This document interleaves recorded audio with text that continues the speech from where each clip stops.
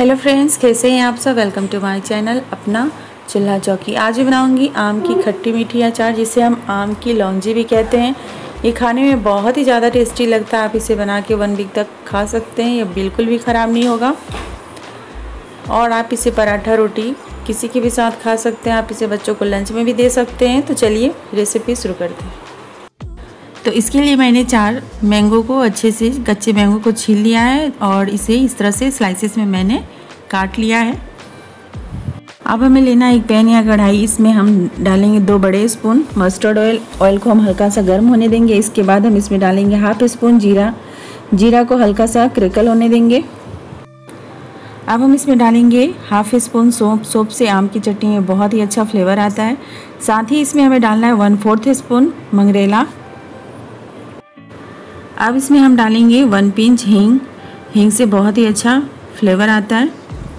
इन सारी चीज़ों को हम अच्छे से क्रेकल होने देंगे। तो यहाँ पे ये बहुत ही अच्छे से क्रेकल हो गया। अब हम इसमें कटा हुआ आम डाल देंगे। इसे अच्छे से मिक्स कर लेना है इस तरीके से।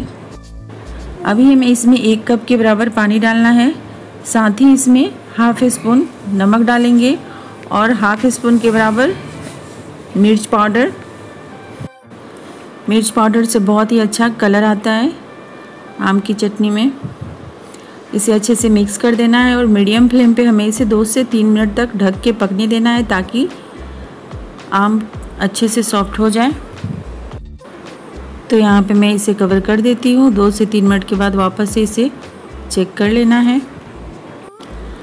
तो यहाँ पे तीन मिनट के बाद मैं इसे चेक करती हूँ। आप देख सकते हैं, बहुत ही सॉफ्ट हो गया है।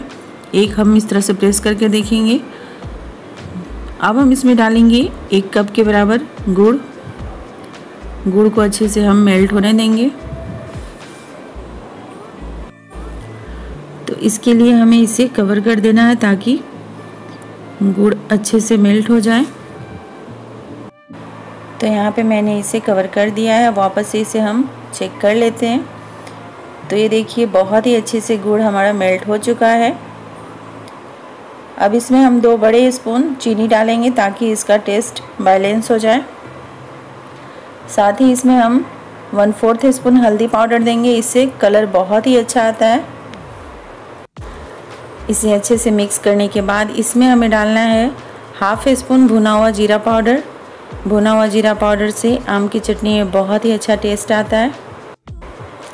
अब हम इसमें हाफ़ स्पून काला नमक डालेंगे। इससे भी बहुत ही अच्छा टेस्ट आता है। और सबसे लास्ट में हम one fourth spoon chaat masala डालेंगे। इस तरह से अगर आप ये आम की चटनी बनाएँगे तो यकीन मानिए बहुत ही ज़्यादा टेस्टी लगता है। इन सारी चीज़ों को हम एक बार बहुत ही अच्छे से मिक्स कर लेंगे। इसकी कंसिस्टेंसी हमें इतना ही रखना है क्योंकि इसे ठंडा होने के बाद ये और भी गाढ़ा हो जाता है। तो इसे थोड़ी देर हम अच्छे से उबाल आने देंगे, उसके बाद हम फ्लेम को ऑफ़ कर देंगे और ठंडा होने के बाद आप इसे किसी कांच के बोतल में रख के वन वीक तक खा सकते हैं। बिल्कुल भी ख़राब नहीं होगा। आप इसे रोटी पराठा किसी के भी साथ खाएँ बहुत ही ज़्यादा टेस्टी लगता है। तो यहाँ पे हमारी आम की खट्टी मीठी चटनी बन के बिल्कुल रेडी है।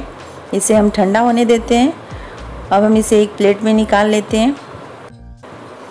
तो इसी तरीके से फ्रेंड्स, आप भी बनाए। ये रेसिपी कैसी लगी? प्लीज़ मुझे कमेंट करके ज़रूर बताएँ। वीडियो अच्छी लगी तो please like share and subscribe my channel till then bye bye and take care